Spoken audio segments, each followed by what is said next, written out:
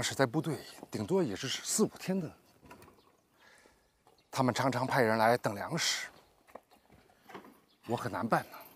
嗯，这不是司令部的协理员吗？陈总好。对，他是给司令部来拉给养的。司令部一般情况下配多少粮食？这不一定，有了就多配些，最少也不得少于半个月的。比速战部队可多得多呀！这些是什么？这些是黑豆，专门喂牲口的。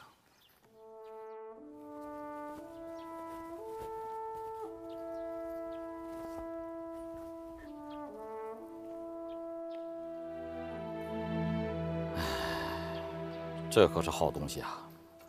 把它砸碎了，与小米在一块煮，我们可都吃过。协理员，到，把配给司令部的粮食全部切掉，换成黑豆。彭总，这不合适吧？有什么不合适的？前线的战士们能吃，我们为什么不能吃啊？就这么办。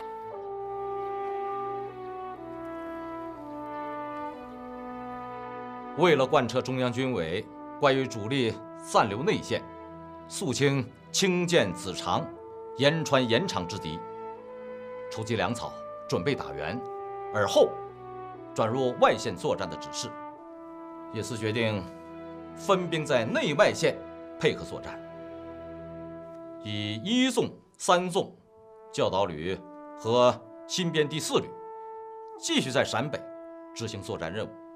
各个歼灭延长、延川和清涧等孤立据点之敌，以二纵、四纵转入外线，开辟黄龙山区，解决粮食困难，并钳制西安可能增援之敌，配合主力内线歼敌。因此，各部队都要派出小股部队，协同地方，保证主力部队的粮食供给。我们绝不能让战士们饿着肚子和敌人作战。教导员，看样子又要有行动了。咱们来的正是时候。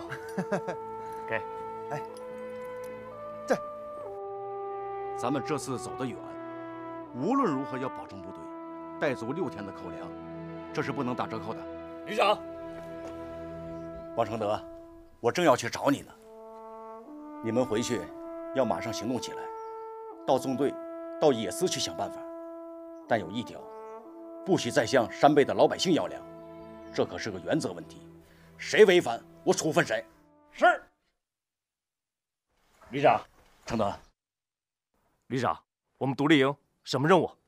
上次你们往榆林送粮非常及时，彭总表扬了你们，希望你们再接再厉，搞好粮食运输，保证主力部队及时得到给养。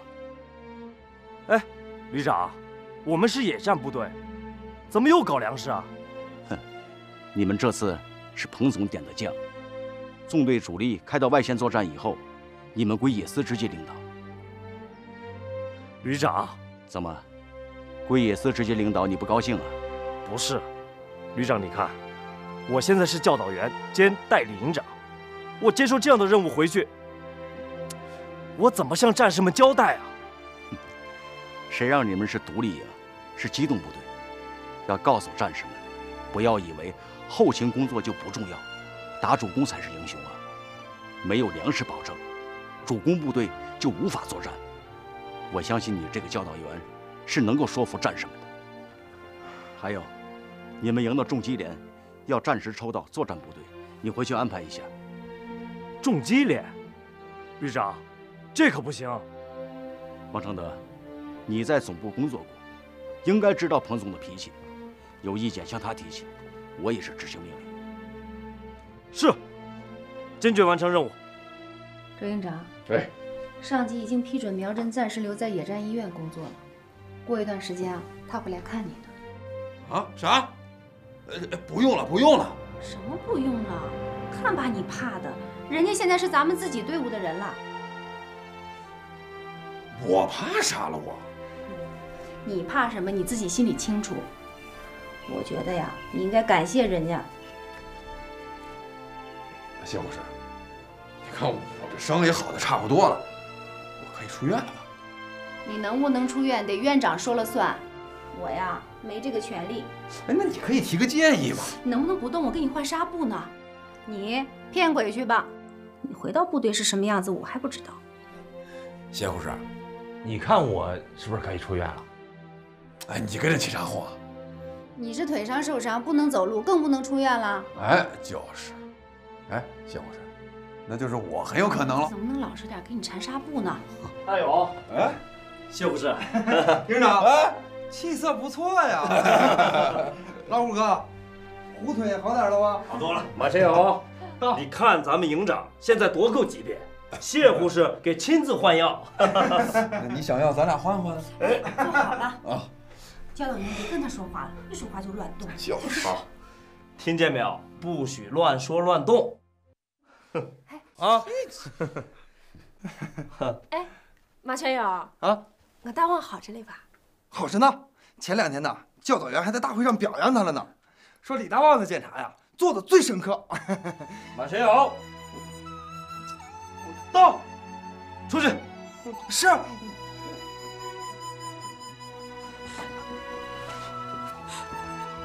教导员，我大旺犯上错误了？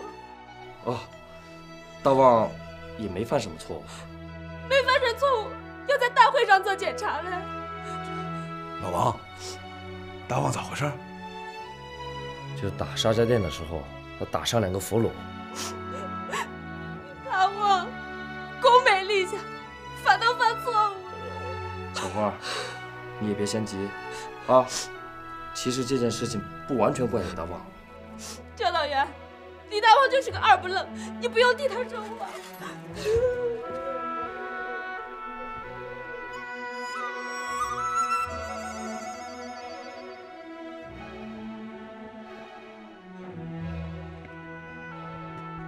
哎，马全友，李大旺为什么做检查呀？教导员还表扬他呢。谢护士。是这么回事，你们看啊，毛主席是这样说的：我军第二年的作战基本任务是举行全国性的反攻，即以主力打到外线去，将战争引向国民党区域，在外线大量歼敌，彻底粉碎国民党将战争继续引向我解放区，进一步消耗和破坏我解放区的人力物力，使我不能持久的反革命战略方针。陈谢兵团出击外线，刘邓大军挺进大别山，这样都是毛主席全国战略思想的一部分。小段，喝水。哎，哎，老王，你你别扯那么远，你就说，咱纵队是啥任务？当然是外线作战了，出击黄龙，开辟新的解放区。太好了，那咱独立营是啥任务？咱们营的任务啊，非常重要。我今天之所以来看你们，是因为部队马上要出发，要好长时间见不到你们。那到底是啥任务？小胆儿，你快说吧。这任务是啊，野司直接下彭总亲自点的将。你想急死我呀你！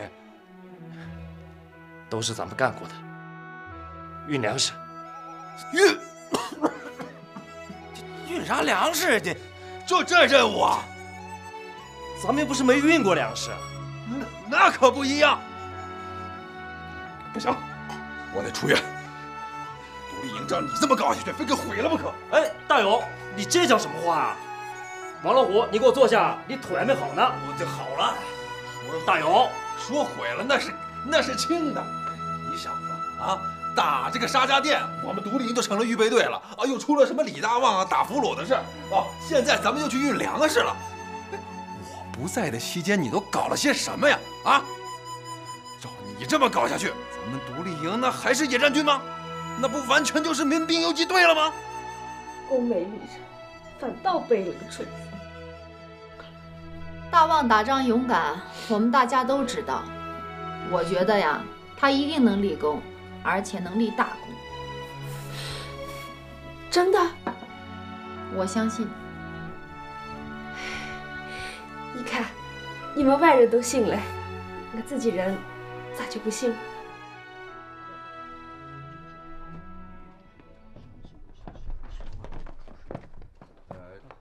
院长，我们可等了半天了。周营长，你已经是第二次带着你的兵来找我谈这件事了吧？你自己看看，他们有的拄着拐，有的吊着胳膊，你说说，他们能出院吗？哎，谁让你们都来了啊？都给我回去，回去！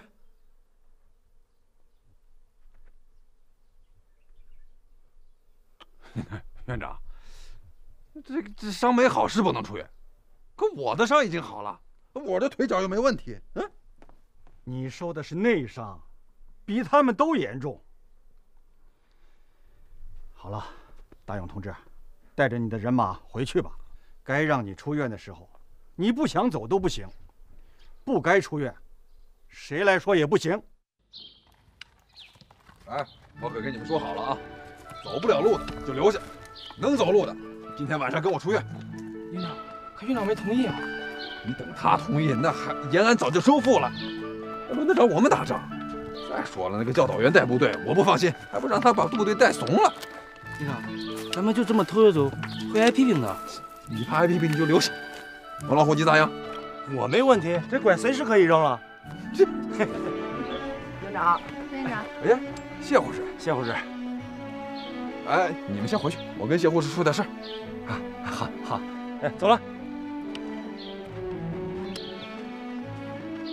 营长，哎，小橙子，你也走。我可不能走。跟谢护士有很重要的事要说。行了，你回去吧，没事。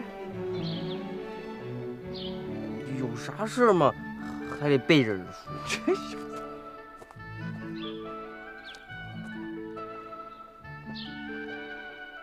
什么事啊？呃，哎，谢护士，咱们这边说。走吧。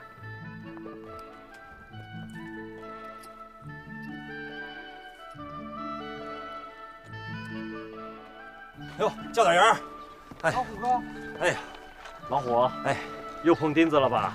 哎呀，这不习惯了吗？那你就好好养伤吧。营长呢？啊，营长，营长在那儿跟谢护士说话呢。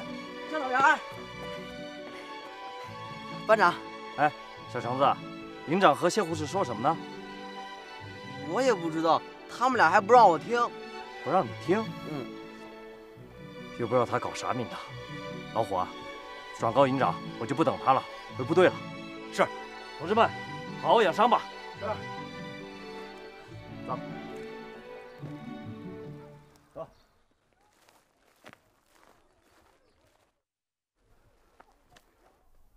谢护士，你坐。什么事儿啊？搞得这么正式。你先坐吧。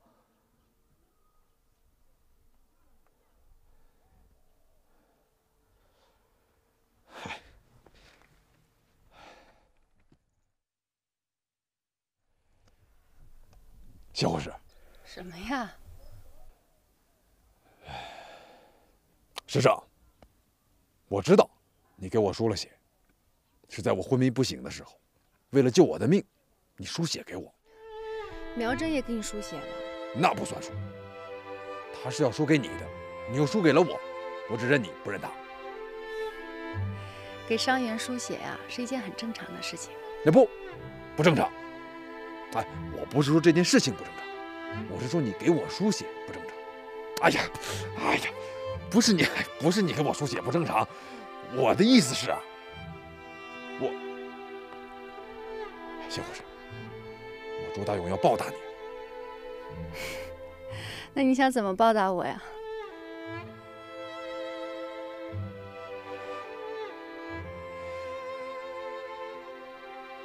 我还没完全想好，等想好了我就告诉你。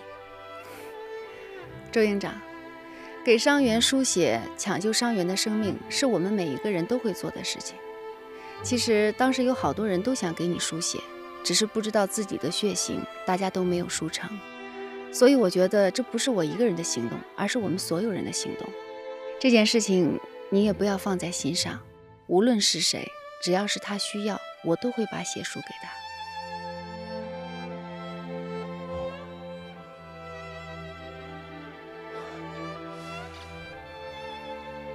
可我身上毕竟流的是你谢护士的血啊！你今天怎么想起来跟我说这些了？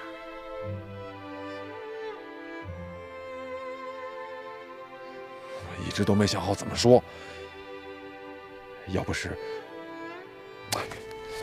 要不是什么？你放心，等我想好了，我马上告诉你。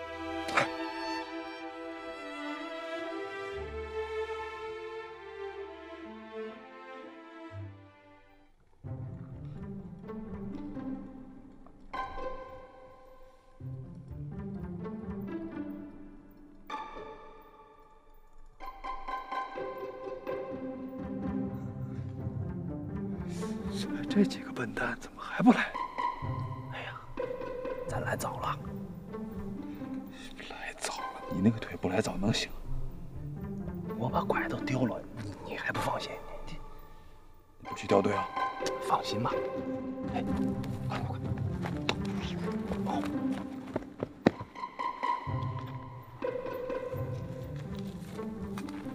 哎，谁让你也来了啊？你那个腿能跟上路回去就回去，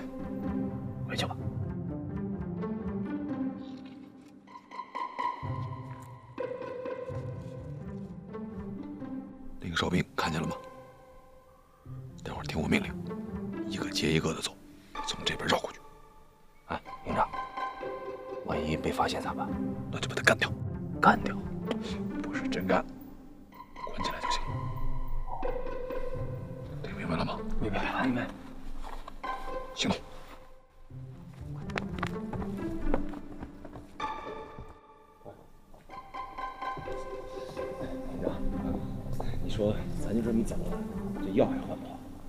当然要换了，有卫生员呢。就咱卫生员那几瓶药面，那能管啥用啊？这早知道刚才从医院多拿出些就好了。对啊，你不是老说这不打无把握的仗吗？你看这事儿弄的，哎呀，你行了，你你这住了几天医院，还住的会说话了你。车到山前必有路，回了部队咱想办法嘛。营长，有人。什么人？不想活了你？周营长，这么晚了，你们要去哪儿啊？谢护士，你们跟医院连个招呼都不打就这么走了，你觉得这样做合适吗？院长不同意我们走，这事儿你又不是不知道。院长不同意你们走，你们就用这种方式走，你认为这样做对吗？不对，但只能这么办。如果我不同意呢？谢护士，你看我们都已经出来了，你就不能？院长，不如咱把谢护士捆了算了。哎，有这种可能。不行，你们不能捆他，我看谁敢。哎，小橙子，你连营长都不认了？营长，谢护士把药都给你们送过来了，你们不能捆他。药？你看。哎呀，哎呀，谢护士，你你原来是给我们来送药的。你们用这种方式走，已经犯了很大的错误。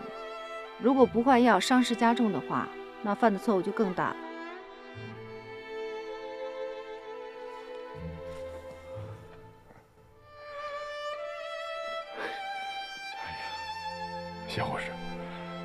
没想到你能支持我们。我不支持你们，但是我理解你们。院长已经跟我们说了，我们医院可能要往延川一带的山区转移，可能要打大仗了。离开医院以后，你们自己多保重。谢护士，你放心，我们不会有事的。同志们，走吧。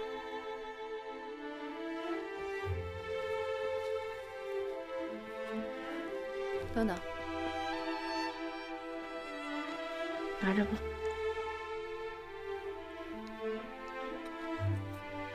谢护士，我周大勇会报答你的。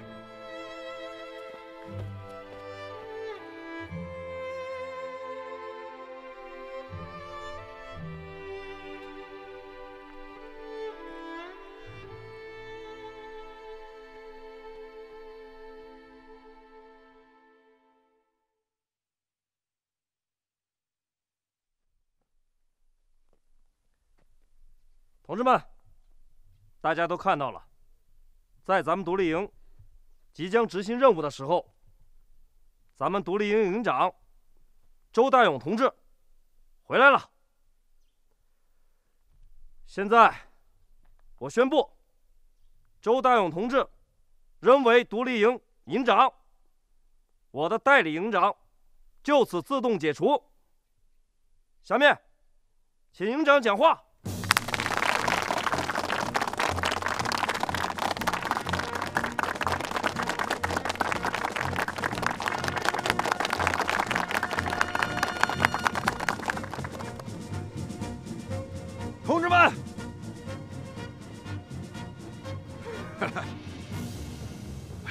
开都一个多月了，我发现咱们又添了很多新战士，好，非常好。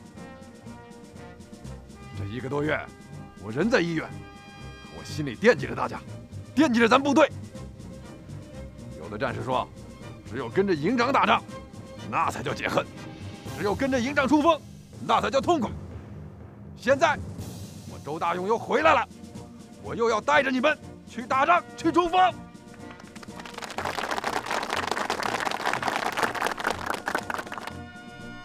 同志们，我们独立营是一支野战部队，是正规军。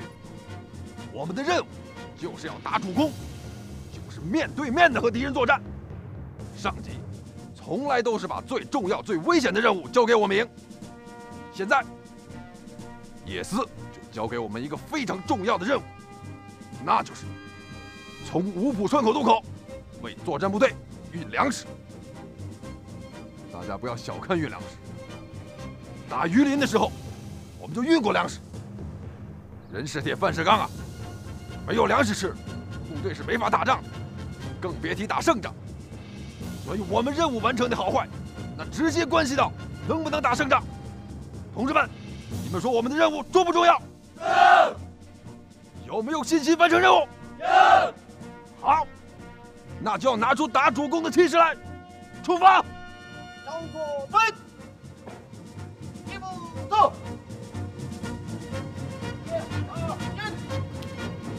加油，不错啊，你可以当教导员了。想当营长，休想！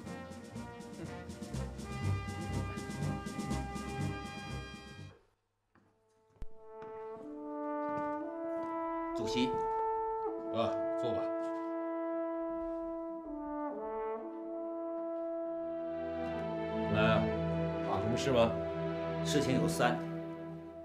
第一，主席修改完成的中国土地法大纲我看过了，我没有意见，同意发表。我也看过了，也没有意见。嗯，这是新中国的雏形啊！我看可以再写一篇文章，与中国土地法大纲同时发表，明确我党我军的基本政策，明确我党现阶段打倒蒋介石解放全中国的目标和任务。好吧，我来写。好主席呀、我看你就写一篇《中国人民解放军宣言》吧，把这几个内容全都放进去。好吧，还是我来写。来啊，你接着说。第二，彭老总他们攻打清涧七十六师已接近尾声，即日即可解决战斗。另外，王震、王世泰他们也已完成了对韩城的包围，即将开始攻城。胡宗南已经彻底失去了主动权，我们在西北战场决定性的胜利就要到来了。彭老总他们提出的由教导旅和新四旅组建西北野战军第六纵队的报告，可以批复了吧？回复，军委同意他们的意见。第三件事呢？第三，在我们的部队里发生了个别战士抢老百姓的东西、调戏妇女的现象。岂有此理！太不像话了！要告诉下面部队，对于此类严重违反军纪的行为，绝不能姑息手软。不管什么人，有一个查一个。不但要处理当事人，对于单位主官，也要做深刻检查。主席，部队纪律下滑有很多原因造成的，主要是解放战士在基层部队占的比重太大，有的单位都达到了百分之七八十了。这不能成为破坏军纪的理由。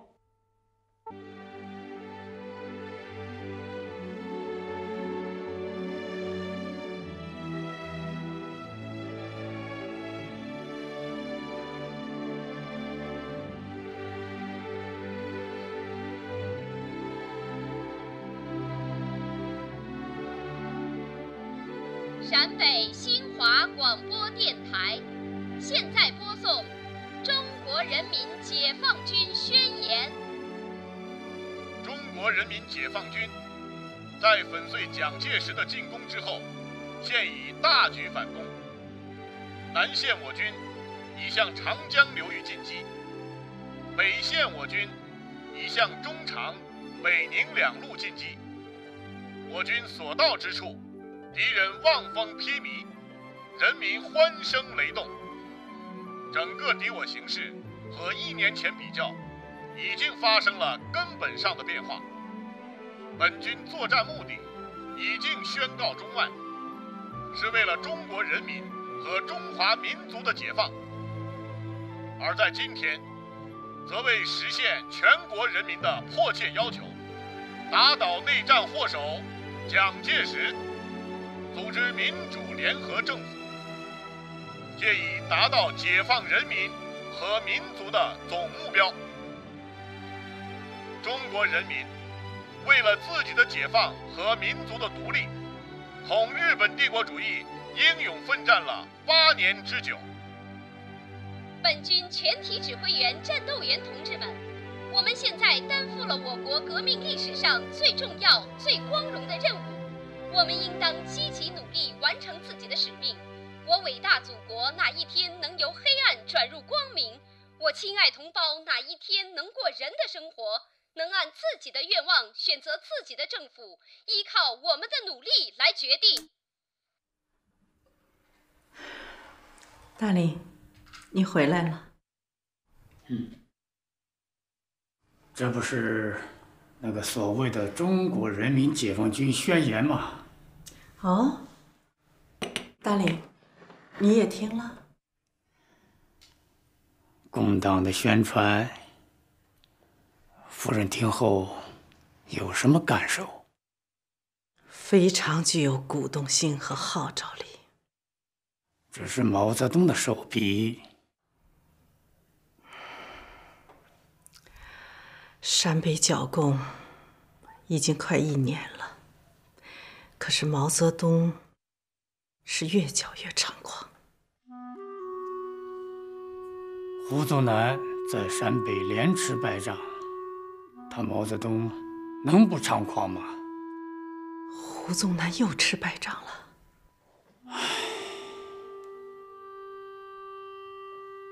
清涧一仗，七十六师全军覆没，连师长廖昂也被捉了去，紧接着又丢了韩城。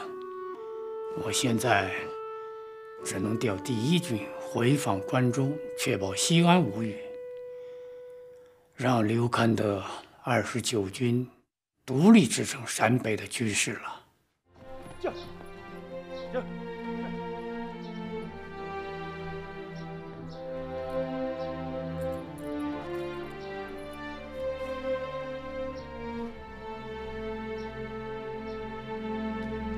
王总，王总，王总，看什么新闻呢？这么认真？嗯，王胡子，这可不是什么新闻呐，这是今年三月二十四号打清华边的时候发生的事儿。哦，王承德把它写成了文章，《解放日报》刚刚发表，非常感人，很有教育意义啊。陕北一家人。哦，这篇文章。我早就看过了，原来的题目叫《一个老汉的战争》，是王承德的手稿。后来王承德啊，根据事情的发展，又做了重大修改，现在终于发表了。怎么这么久才发表？是因为这个李大爷没有找到，后来有个叫谢芳玲的女同志一直在找，结果找到了，李大爷又不愿意开口说话。谢芳玲同志。用耐心的护理了很长时间，后来终于开口说话了。哎呀，这里还有好多事儿呢，你呀好好看看。何总啊，谢芳玲，嗯，这个女同志啊，跟周副主席也很熟嘞，曾经在总部医院和交际处工作过，是个非常认真、非常敬业的女同志。是啊，这个谢芳玲，我也很熟啊。他拦过我的马队，闯过我的办公室，还当面批评过我，还真有这事儿。是一个很有敬业精神的好同志啊。我们共产党人不管做什么事情，都要有这种百折不挠的敬业精神。你看啊，部队作战，指挥员到前线去侦察地形，研究制定作战方案。没有这种敬业精神，那是不行。我们的革命事业呀，就是要靠一大批这样有敬业精神的人才能完成的。但是要想解决这个问题啊，首先就是要解决理想和信仰问题。你看啊，我们西北野战军有今年三月份的两个纵队，有两个旅，两万六千人。那么现在呢，增加到了五个纵队，七万五千人。我们凭着什么呀？不就是凭着革命的理想和信仰，凭着对革命事业这种敬业精神吗。彭总，军委电报。哦。哈哈，好啊！中央军委批准了我们冬季政训的报告。啊，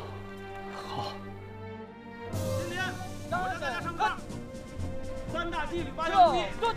一会儿我唱一句，你们跟我唱一句，听见没有？嗯。啊。革命军人个个要牢记，唱。革命军人个个要牢记，三大纪律八项注意。三大纪律八项注意。第一，一切行动停止，恢复要意志，才能得胜利。唱。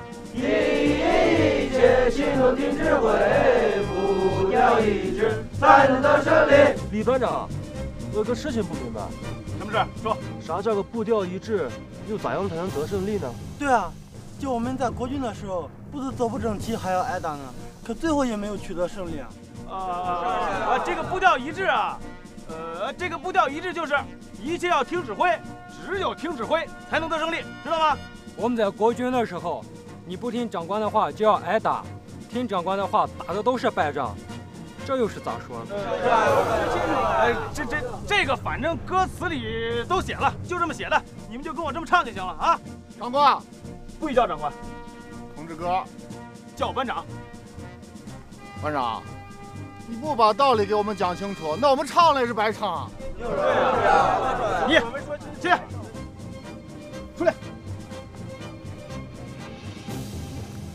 你叫什么名字？王宝才。王宝才，我告诉你，你们都是解放战士，一个个身上毛病比较多，啊，要注意自己的身份。我们身份怎么了？难道比你低一头吗？就是啊，你这不是瞧不起人吗？女孩子他哥也是解放战士，人家战斗英雄呢。咋了？你他哥也是解放战士？说清楚，这咋回事嘛？咋回事？说清楚。坐下。你也站下去。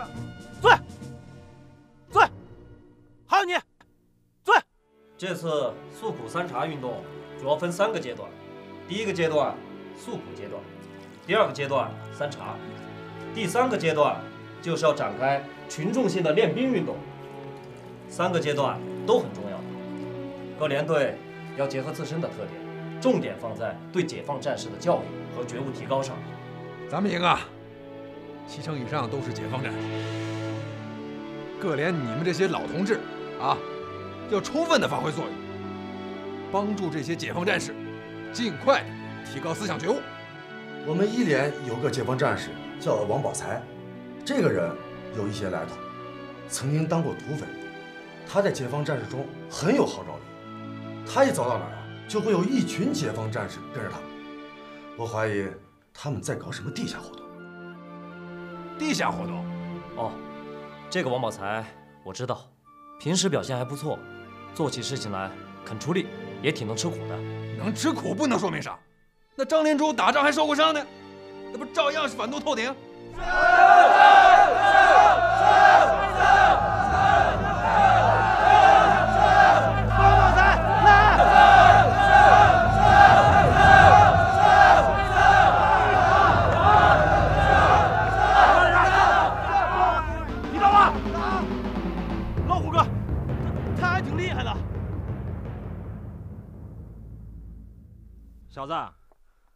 两下子啊！把你那劲儿朝我身上使。王班长，久闻你大名，我俩随便玩玩，不想惹事儿。你跟他玩，不跟我玩，瞧不起我是吧？给老师，给老师，上上上上上！那向王班长请教一二。废话，来吧。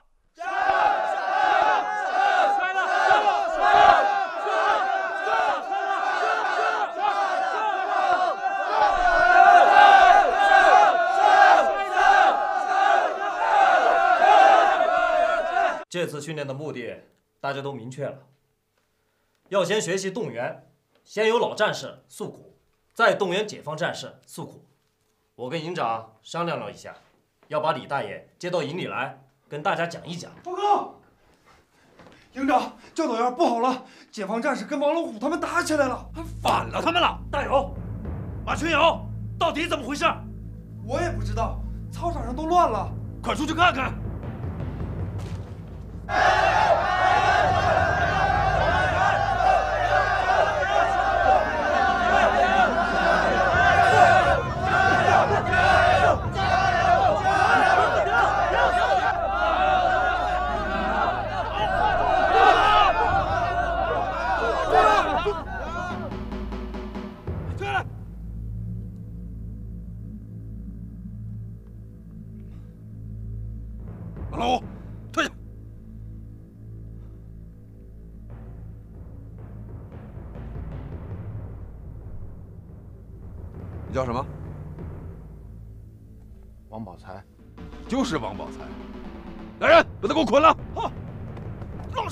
大勇，营长，不能捆人啊！大勇，老虎说的对，不能随便捆人。松开！教导员他。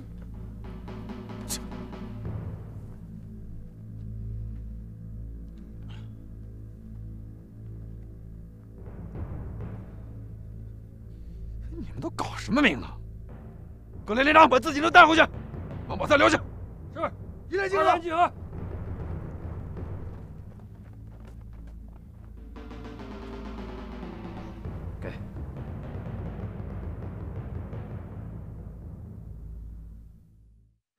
营长，我跟你说，我跟你说，你就不能听教导员的，你就应该给他们点颜色看看，来个杀鸡给猴看，好好的教育教育他们。行行行行行，你先检查检查你自己。那不是你让我带着他们拉歌的吗？你连步调一致才能得胜利，你都讲不清楚，那说明你就没学好吗？那你跟我说说，到底是咋回事？教导员跟你讲的时候，你耳朵睡觉去了？教导员讲过吗？这王宝才还真成个人物了。王宝才同志，你是哪人？甘肃庆阳董志元的。哦，听说你当了几年的土匪？三年。你能告诉我你胳膊的伤是怎么来的吗？烫的呗。烫的？用什么烫的？火钳子。火钳子？谁这么狠毒，用火钳子烫人呢？村里的地主。这么说，你也是受苦人出身？穷人，人穷没啥本事。来，坐下。我还是站着吧。当了解放军，就得懂解放军的规矩。来，坐下吧。